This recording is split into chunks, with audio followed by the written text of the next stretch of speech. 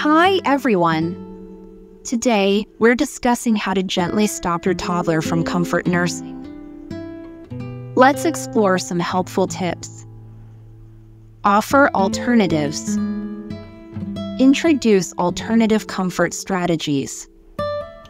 Make sure you have a lot of activities planned that he will find more interesting than nursing. That might be trips to the playground, finger painting, climbing, playing with the dog, reading to him, Lego, shopping.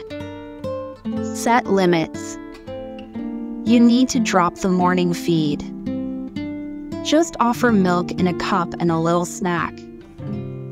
Your breasts will hate you and you have to express a little to take the milk down.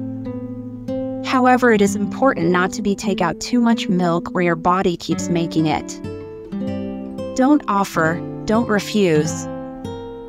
Make it less convenient for him to nurse. Don't sit down where he is used to nursing.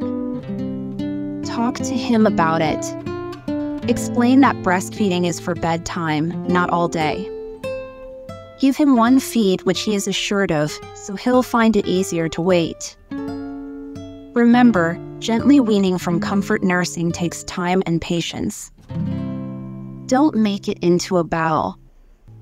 Tell him he's never going to breastfeed again. Just make it less convenient. Share your tips in the comments below and don't forget to like and subscribe. Happy parenting!